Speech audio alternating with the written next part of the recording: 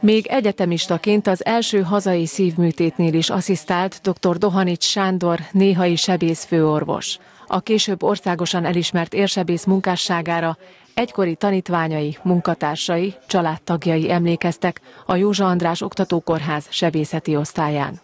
Nagy hasi verője tágulatot, amit vidéki kórházakban 70-es években még nem nagyon operáltak ő operát, illetve hát a, az ő tanítómestere Eizelt Árpád ö, nyomdokait követve ezeket a nagy érműtéteket is ö, elvégezte. Az emléktábla avatáson dr. Fábián Sándor sebészfőorvos munkásságáról is megemlékeztek. A főorvos mindennapi gyakorlati sebészeti feladatai mellett jelentős tudományos munkát is végzett, és több korszerű eljárás hazai bevezetésében volt szerepe. Az altatásnak volt egy speciális formája, amit intubációs narkózisnak hívunk.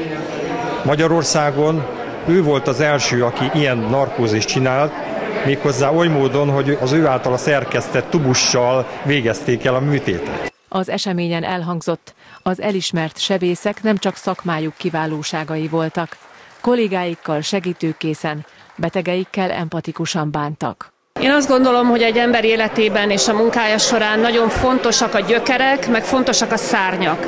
A gyökerekhez mindenképpen hozzátartoznak a nagy elődök, akik, akik emlékét és akik munkáját támogatnunk kell és ápolnunk kell elsősorban, hiszen ez adja az erőt ahhoz, hogy a, a most itt lévő és jelenlévő kollégáink szárnyalni tudjanak.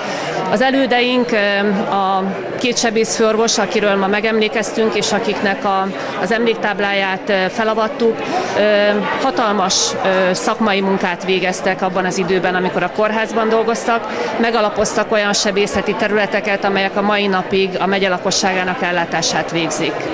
A multidézés mellett életet adományozó kórház címet kapott pénteken az intézmény anesteziológiai és intenzív terápiás osztálya a szervdonáció területén 2020-ban végzett áldozatos munkáért. A tavalyi évben osztályunkon 10 esetben történt sikeres szervdonáció.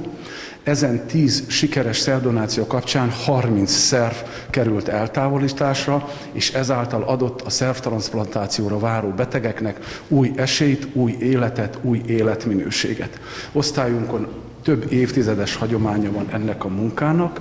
A legalacsonyabb esetszám az osztályunkban az három eset volt, és a legmagasabb pedig 15 eset egy évben.